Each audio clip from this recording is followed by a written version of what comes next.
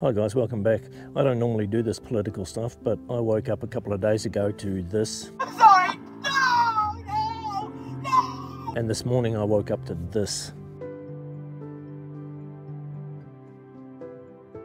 Now the first one I get, I understand that you're upset um, and you're um, going to go viral. That's maybe what you wanted. The second one, unbelievably insensitive. You know, um, my wife suffered from cancer, all of her hair fell out. Um, one of the worst times that we had in that whole, whole process was when she came to me after having had a shower and unfortunately the only likeness that I can relate it to is she looked like Gollum from Lord of the Rings with little wisps of hair left on her head and the rest of the hair was collected in the bottom of the shower. And she came to me and she asked me to shave the rest of her head. Now, for somebody to say that they're going to shave their head because Donald Trump won the election and this was going to make them unattractive to men, shame on you. Shame on you, you piece of shit. You absolute piece of shit.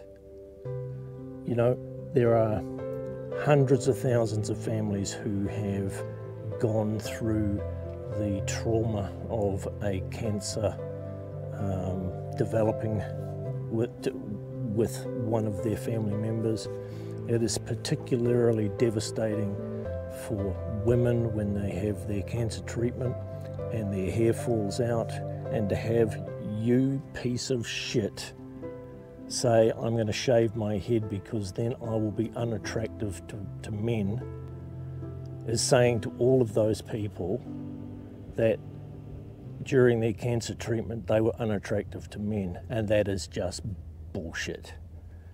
You know, I love my wife no matter whether she's got hair or not, whether she would, uh, you know, maybe she would have needed a mastectomy. She didn't, well, luckily.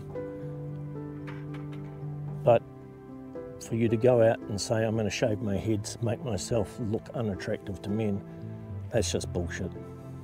That's an absolute cop out, you self centered piece of shit. Many families have suffered with um, cancer scares with their children, with their wives, with their husbands, with their sons. Um, to do something like that shows that you have no thought or consideration to any of those people. And it just shows that you're not a particularly nice person and that you're very self centered and everything is all about you. So go fuck yourself to the moon.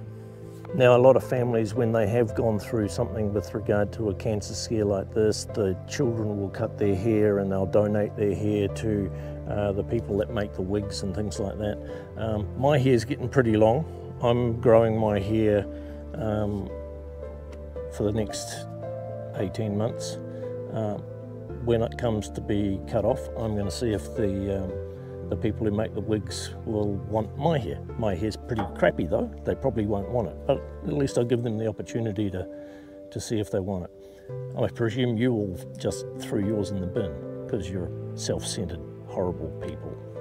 Another thing that we are prepared to do is if we ever become monetized, we will donate 50% of all of our earnings from YouTube to um, a cancer related society for either the benefit of cancer sufferers or uh, for research. Now, we're prepared to do that and make that commitment. Now, we may never become monetised. Maybe we, we will, I don't know. But that's our commitment. As to the rest of you that are doing this, um, cutting my hair because Donald Trump won, fuck off.